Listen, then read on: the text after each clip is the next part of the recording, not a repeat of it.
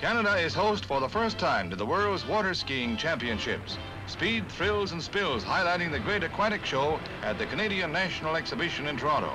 Barbara Metcalf of Canada runs into trouble on the slalom course.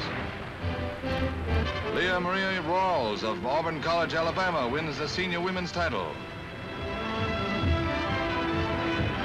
Spills coming up.